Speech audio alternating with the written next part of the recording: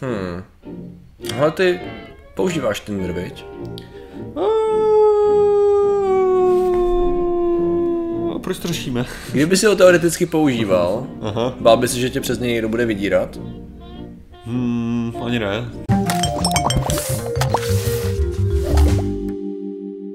Zdravím lidi, já jsem Martin Rota, tohle je Patrik Kořenář a dnešním sponzorem je naše nové kladivo. Tímto kladivem můžete zatlout zhřeb... No pravděpodobně, ne, ale je to možná nejlepší napití, to bych řekl takovýhle hrníček. Než No když dopiješ, tak můžeš. Jo, ale já, já bych se bál, že by to prorazilo. Tam zase. Jo, to on, je jako, on je dobrý, on spinuje pěkně, ale nevím jestli... jestli Tam vlastně ty, ty, ty, ty, no, ty obvody na tom vlastně líp koncentrují tu energii, že jo? Já jsem si říkal, jako, že možná, že by byla dobrá reklama, že bychom vzali starý hrníček, víš co. rozmlátili ho, rozmlátili ho tím letím, ale Jasně. tak to je to. No, a když tak v popisku videa samozřejmě. Přesně. No a dneska řešíme. Eh, Dneska, Martine, řešíme, jak se dá krásně dezinformovat pomocí širokého množství platform a Aha. dokonce i takové věci, jako je seznamka, jednoduše řečeno, a Tinder. Protože uh, Smarter Everyday, ty jsi to myslím viděl, uh, tak vydal, že ho v posledních třech a čtyřech videích docela dobrou sérii o tom, jak fungují vlastně na Facebooku, YouTubeu a Twitteru, uh, řekněme, falešní účty, jakým způsobem ovlivňují, vlastně vytváří diskuze, jak vytváří vlastně falešní informace a tak dále a jak s tím ty platformy bojují, v jak masivním množstvím se to objevuje. A to je jakoby fajn, protože tak nějak známe, že YouTube, Facebook používá asi většina z nás, Eh, minimálně naši diváci používají YouTube, ty jediný, čím si může být jistý. A uh, ten Twitter to už je trošku míň, že jo? Ale ten Tinder to je taková věc, která stojí docela bokem, že jo? Přece to je taková aplikace, která má nějaký zaměření, má to že zaměření na seznamování se s lidma. No a mám tady docela zajímavý článek, který vychází z... eh, Ale to není studie, je to ono- white paper, jo? Ale Ale největší sranda jako u Tinderu máš ta, že vlastně celá podstata té platformy, aby ses dostal z té platformy. Aha. A, jo, Že- jasně ano. Když ano, to tak vezmeš, jo. jako protože ten klíč je jako dostat se z té blbý aplikace, Jo, jasně. tak je způsobem, že načetování není dobrá, jako Jo. extrémně. A, ale je tam možnost četování. Jo, je tam Jo, možnost no, četování, jasně. samozřejmě, ale jakože uh, tam máš uh, všechny ostatní, ty ti umožňují, já nevím, linkování, že jo, posílání prostě hovadin a tak, když to tohle je vyloženě jako načetování. A, OK. No tak právě tady toho četování se to docela týká, protože eh, jistý eh, vysoký oficír ukrajinské policie, Aha. Oleksandr Verčenko, byl v roce 2018 eh, vydírán účtem jedné slečny a s tím způsobem, že ona zveřejnila i na svém facebookovém profilu eh, screeny z konverzace, tady s Ok. tím, tady s tím oficírem, kde on jí vlastně vydírá, pokud s ním nebude mít intimní, intimní vztah. Dobrý. Následně došlo k dalším jejím výpovědím, kdy vlastně říkala, že on jí jakoby posílal kitky a nějaký uh, syrový kuřecí nohy nebo co, což mi něco jako symbolizovalo. Jo, prostě naprosto běžný. A byl z toho docela solidní průser, jo, protože samozřejmě se to totálně rozmázlo po médiích, jako lítalo to, eh, ta holčina samozřejmě získala spoustu sympatí, že, jo, že byla jako ochotná s tím mít takový na veřejnost. Strašný backlash dostala policie, protože prostě takovýhle, že oficír zneužil svoji, svoji schopnosti a tak dále.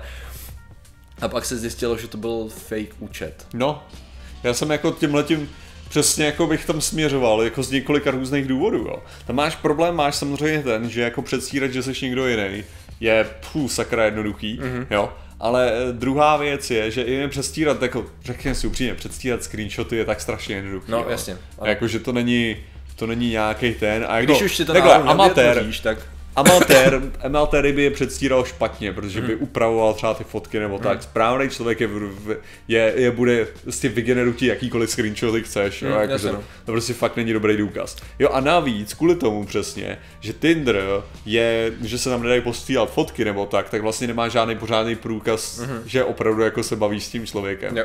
Jo, proto jak říkám, jako máš, uh, a ono jako to je jako moje oblíbená, moje nejoblíbenější činnost samozřejmě je na, nacházet jako dobrý úč, uh, falešný účty. Že? Mm-hmm. To je Jo. takový ten jako, že, protože to dokážu odhalit jako sakra rychle, Jo, jo, jo. jako takovou věc a odhaluju to tak, tak rychle, že jsem zjistil, že nejhorší je, co, musím, co, co je udělat, tak je jako napsat to, napsat já vím, že to je falešný, že v tu chvíli zrušený propojení. No, že? jasně. Takže já musím jako už to hrát třeba delší dobu, jakože, že, že mi to není absolutně kurva jasný, protože jinak bych hnedka o tu, že já se snažím dostat k tomu, proč to ten člověk dělá, že jo. Takže když napíšeš hnedka, že je to jasný, tak v tom případě přijdeš o to, jako zjistit, co vlastně se z tebe snaží dostat, že jo.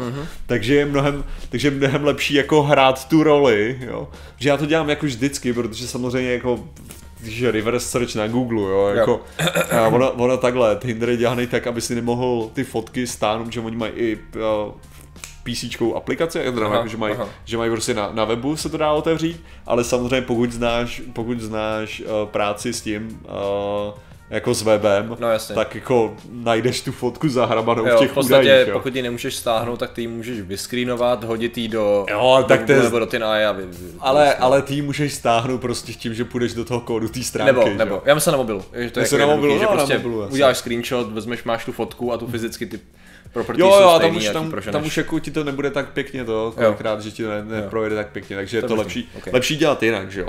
A nejlepší je samozřejmě, když ještě vezmou ty, když mají x různých falešných fotek různých lidí, to na tom samém profilu, jako to jo, Což jako... mimochodem právě doporučil bych podívat se na tu sérii od Smarter Everyday, Aha. nejenom proto, že jako e, přiblížit si, jak to vůbec funguje, ale nejzajímavější jsou teda, on tam dává zdroje, což je super, ale hlavně tam jsou ty čísla.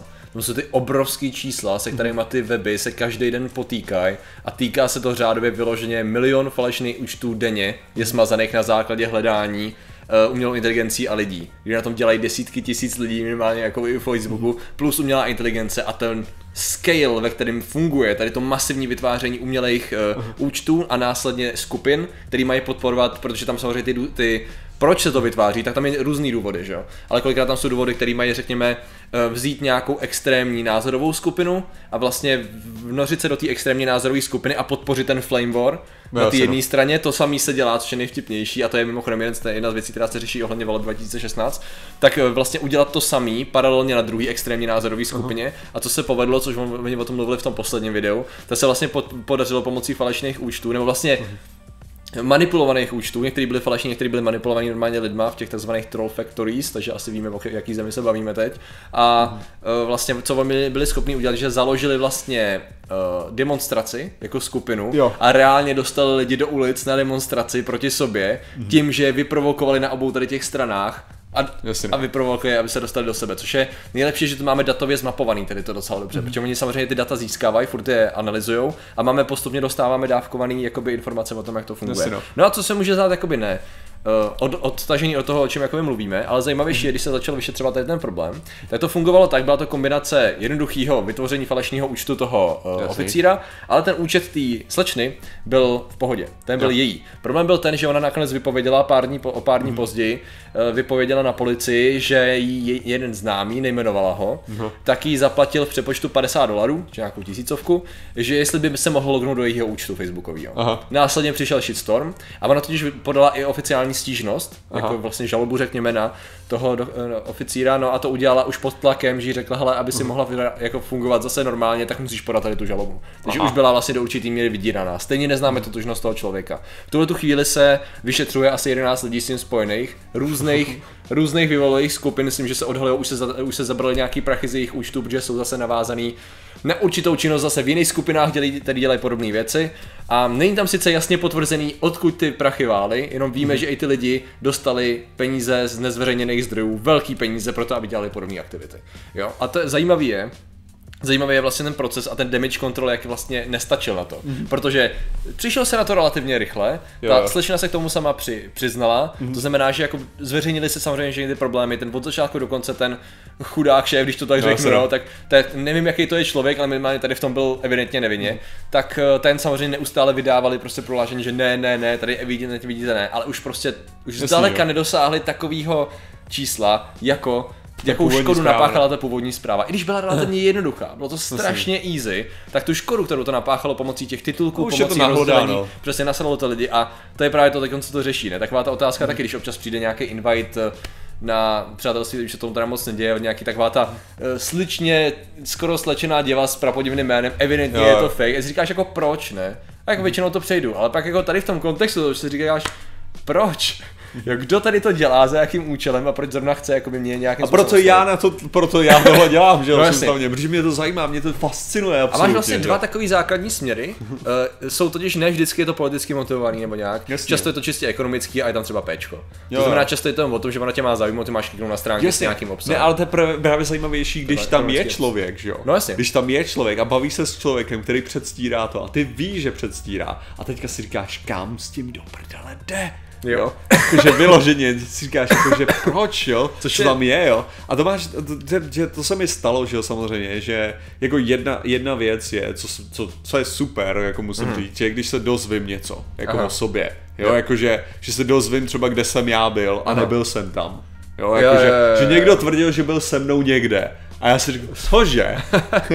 jsem, jsem říkal, fakt, jako tam jsem nikdy nebyl, tyjo, jako tam, jako můžete, můžete se najít. A už jsem jako, už jsem se dozvěděl, jo, že jsem měl sex s někým, jo, jako, že jsem si říkal, fakt, to je zajímavý, tyjo, jako, mm-hmm. jsem, a nejlepší je to s člověkem, s kterým jsem v životě nebyl v jedné místnosti, jo, Jo. jako, to, to, je jako, to, jsou, takový, víš, to jsou takový ty, že, wireless asi. no, jako bez srandy, jednou jsem se, jednou jsem se dozvěděl, že jsem opravdu něco měl s Bětkou Trojanovou. Aha. Jo. A to bylo fakt situace, kdy jsem jednou s ní byl v sále velkým. Aha. Jo, to bylo jako jediný a tam jsem neměl ani žádnou interakci, že nejblíž jsem byl na ní, k ní asi na, na 30 metrů a, to, a potom jsem se dozvěděl teda, že jsem říkal, jsem říkal jako, hele, to mi docela faníte ohledně délky mého penisu, první věc, jo. Druhá věc, jo a to jsou jako, že si říkáš, fakt, jako, zajímavý, jo. Jo, jo, jo. Zajímavý, že máš A to je takový... pravda, že tady to, na tom tě Jo. stejně zajímá, proč to někdo řekl. No jasně, ale jako, kde se, kde se k tomu I když, to, dostali? když, to, když přemýšlím nad tím, jak lidi fungují, to je většinou taky, Aha. já si stejně myslím, že tady ty dva něco měli. To jsem slyšel tolikrát, ty vole, přitom to Aha. bylo založený. A na čem to je založený? Protože oni se tak dívají nějak. Aha. Wow! Sherlocku, výbor, tvá dedukce prvního kategorie. To nevidíš, jak on se tak... Samozřejmě, že někdy to chování vyloženě když ty dva lidi vedle sebe stojí, sedí nebo se baví, tak si řekneš, jop, to je zcela standardní, uh, neverbální komunikace mezi nimi probíhá, ale furt to neznamená, že půjdeš a začneš to vytrubovat, to musíš mít nějaký důvod, jo. A v druhý řadě, uh, kolikrát přesně, jako někdo si to musel evidentně vymyslet z ničeho, no a tady to evidentně ne, tak vzniklo... z ničeho, já nevím, to mohlo být, slyš, jak bych to řekl, to mohlo být misinterpretovaný ta Jo. osoba, že jo, ta, nemusela být ta samá osoba, někdo to blbě Jednou jsem pochopil, viděl myslel, že... v nějakým ne. streamu a Willem si řekl Woodbank a bylo to. Ne, ne, ne, to mohlo, ne, třeba, třeba to mohlo být to, že buď nešlo o mě, jo, z té historky, která to byla, Ok. že nešlo o mě, že mohlo jít třeba o nějaký Martina, nebo naopak, že nešlo o ní a že šlo o tom, takže Jo. ten reálný základ mohl být pravdivý. Ok. Dva lidi měli sex, ale ty dva lidi byli úplně někdo jiný, že jo. Jasně. Jako. Ale jenom, uh, ještě, já jsem k tomuhle tomu ještě chtěl říct, že uh, tyhle ty falešný, tyhle ty falešný věci, no a potom je ta druhá věc, že jo, když mě se stalo, že jo, že někdo předstíral, že jsem já, že jo, Aha. taky, a to, to, to se nestalo jednou samozřejmě, že by někdo předstíral, že jsem já, ale jakože, že se prostě, že ta, a pak, pak jako, a to vlastně takhle jsem dostal konverzaci, že skopírovanou kompletně z lidé.cz, jo, prostě Mhm. od, od, od jedné holky, co si myslela, že se baví se mnou, že jo. Aha. Jo.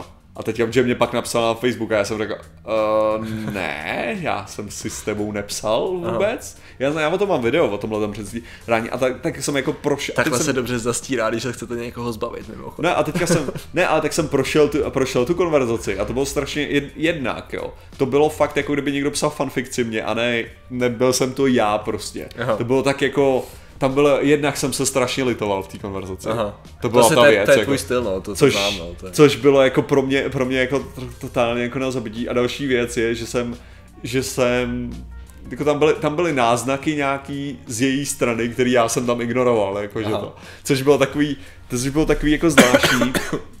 Eh, Zvláštní, že si fakt jako říkáš, proč to ten člověk dělá, jo? že možná tam prostě jenom šlo o to, že ten člověk si chtěl pokecat o svých problémech a mě použil jako, jako plavidlo, přes které tohle to jako prezentovat. Nevím, Jo. no. Je to možný, takže ty motivace jsou, jak říkám, no, různý, jenom je, mě fascinuje čím dál víc, čím více do toho ponořuju, jako jak, jakých platform a jakých vlastně stylů tady těch, řekněme, procesů, nebo jak tady těch jako zneužití tady těch falešných komunikací se dá využít a na jakém měřítku. S tím, že samozřejmě, jak říkám, jo, tam ty motivace můžou být různý, ale čím víc na to koukám, já vám dám nějaký zdroj do popisku, samozřejmě, který se týkají i toho, nejenom na tady, tý konkrét, tady toho konkrétního případu, ale konkrétně, ať už je to uh, falešných profilů na Twitteru, vytváření diskuzí na, na Facebooku, na YouTube, máme Deepfake. dost, jo, máme dost dat, který nám naznačují docela zásadní věci. A sice, že eh, řekněme, eh, určité skupiny, většinou zastupované určitým státem, jsou v tom zatraceně dobrý z nějakého důvodu. A, takže... A eh, ono to není jenom o tom, že jo, tam, tam máš i třeba kolik těch článků, že jo, před volbama bylo způsobený těma studentama eh, z toho, odkaď to bylo, z nějaké... Eh, Mal- Moldávie, něco takového dole, to byl, to byl čistě business model, to je No, pravda. jasně, To, kdy to bylo, byl- to byly kdy- fake news, který byly nastavený přesně proto, aby na to lidi klikali, který extremizovali, že jo, ať už Trumpovou stranu nebo že jo, tady stranu nevím, když to rozdělím takhle.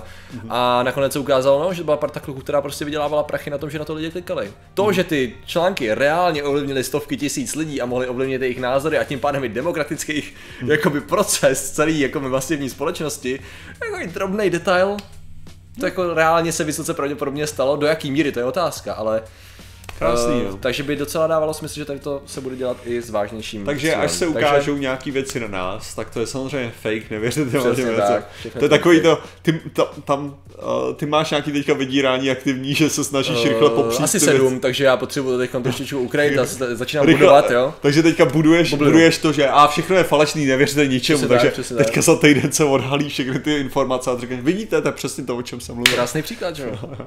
Takže dobře, takže proto to řešíme. Přesně proto. Takže děkujeme za vaši pozornost, zatím se mějte a čau. Nazdar.